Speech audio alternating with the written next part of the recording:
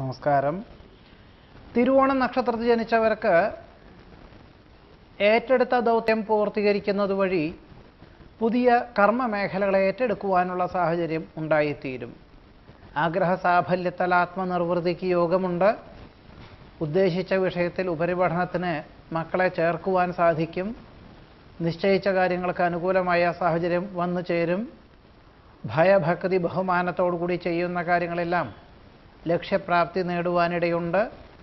ഉദ്യോഗത്തിൽ സ്ഥാനക്കയറ്റം ലഭിക്കും. വിദേശയാത്ര സഫലമാകുവാനിടയുണ്ട്.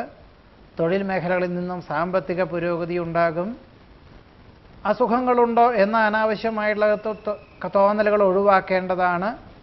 പരിശ്രമങ്ങൾക്കും പ്രയത്നങ്ങൾക്കും പ്രതീക്ഷിച്ചതിലുപരി അനുഭവഫലം വന്നു ചേരുന്നത് വഴി ആശ്ചര്യം അനുഭവപ്പെടുവാനിടയുണ്ട്. സന്ധി സംഭാഷണം ചർച്ചകൾ പരീക്ഷ ഇന്റർവ്യൂ മുതലായവയിലൊക്കെ തന്നെ അനുകൂലമാകും വിധത്തിൽ അവതരിപ്പിക്കുവാൻ സാധിക്കും. ചർച്ചകളിൽ പൂർണമായിട്ടുള്ള രീതിയിൽ പിന്തുണ ലഭിക്കുന്നത് വഴി അവലംബിക്കുന്നത് ഭാവിയിലേക്ക് ഗുണകരമായി തീരും. സംഘ നേതൃത്വ സ്ഥാനം ഏറ്റെടുക്കുവാനിടയുണ്ട്.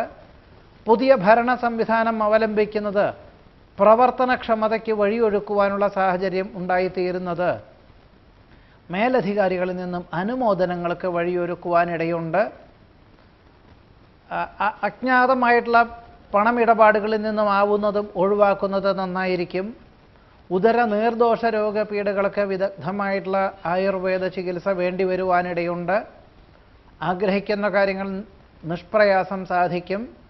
ഭാവനകൾ യാഥാർത്ഥ്യമാകുവാനിടയുണ്ട്. വാസ്തവ വിരുദ്ധമായിട്ടുള്ള തോന്നലുകളെ അതിജീവിക്കുന്നത് വഴി സൽകീർത്തിയും സജ്ജനപ്രീതിയും ഉണ്ടാകുവാൻ സാധ്യത കാണുന്നു.